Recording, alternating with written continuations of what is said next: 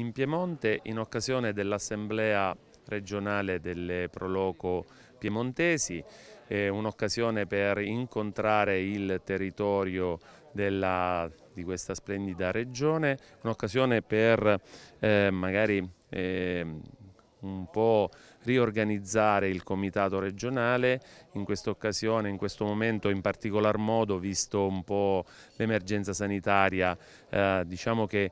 vengono espresse le migliori intenzioni per poter riorganizzarsi e poter mettere in piedi un po' tutto il lavoro che dovrà essere fatto per il futuro. Eh, partendo appunto qua da questa splendida provincia che è il Verbano Chiusiossola eh, per un po' eh, iniziare questa visita del, del, Piemonte che finirà appunto con la giornata elettiva che porterà i nuovi vertici del Piemonte.